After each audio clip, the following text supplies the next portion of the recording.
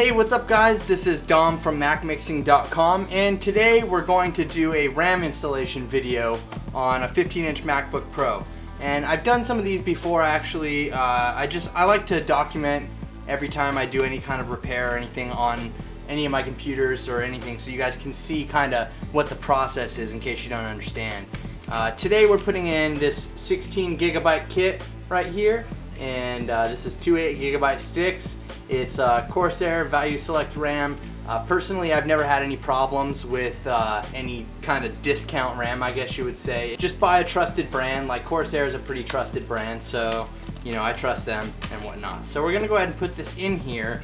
Um, first, we have to open up the MacBook Pro, and so you wanna flip it over, and this is the bottom. Make sure you have a good screwdriver set. I have this like multi screwdriver set right here. It's got pretty much everything that I need to open up a MacBook or an iPhone, stuff like that, and find the right bit to fit in the holes there. Just like that. So you just want to get a perfect snug fit. So basically we want to go through and unscrew all the screws here. There is 10 of them. So go through and unscrew all 10 and then we'll be able to lift off the back. And also you guys, remember where you take the screws out from because I believe uh, a few of them are shorter and longer than the others. I think it's the back ones back here. Uh, there's three back ones that are longer. Just make sure you remember where all the screws go. So let's go ahead and take out all these screws.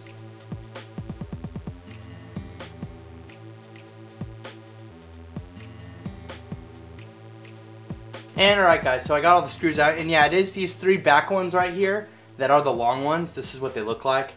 They're uh, they're a little bit longer than, uh, than the other ones, as you can see there. Just a little long screw. So make sure you remember where those go because we got to put them back or you'll break something if you try to screw them in elsewhere. So let's go ahead by taking off the back here. Let's start by doing that. And what you can do is you can actually just lightly lift up on the back side there and you'll feel it kind of pop off and see there.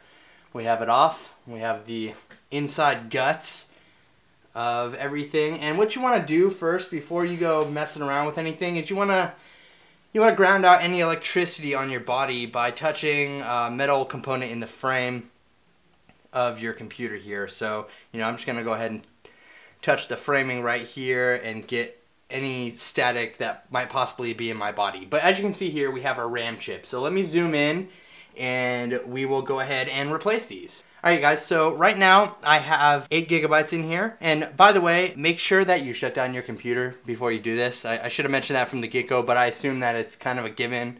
Make sure your computer's shut down. And so we're gonna just pop those out and see how I did that. I just pulled the lever to the side, these little levers on each side, just pull them out and you'll feel that pop up. And then you can go ahead and remove it outwards towards you, like this, outwards and go ahead and set those aside. And this one's a little bit trickier to get in and get out sometimes. Um, luckily I just popped it really easy there. So again, pull out towards you, just like that, out. Now we're ready to open up the new RAM. So we have our new RAM right here. I'm gonna cut this open. And we're gonna put those in the exact same spot, you guys, believe it or not. Uh, and uh, the jump from 8 gigabytes to 16 gigabytes is gonna be pretty significant. So we got the RAM out right here, as you can see. And we're just gonna go ahead and stick those in there exactly how we took out the other ones. Uh, the bottom one's kind of hard to get in, but okay, check it out. If you just put it in diagonally like that, get it in the slot right there, and then you can pull these out. You have to pull them out while you push the RAM down. So just like that. See, I just kind of did I'll do it again for you real quick. Make sure this is in all the way. Make sure it's in the socket all the way. Pull out the side levers and push it down with your finger so it locks in place. And then the next one is going to be a lot simpler because all you have to do is line it up in there. Just put it in diagonally again like that. Get it in the socket and then push it down.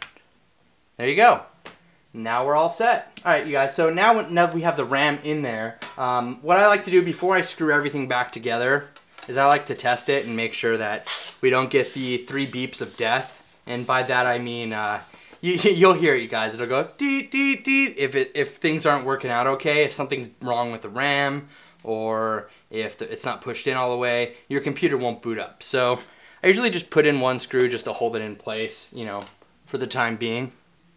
All right, so we got one screw in. We're gonna go ahead and test this out. And yeah, my screen really is that dirty, you guys. Um, so start it up and we have power.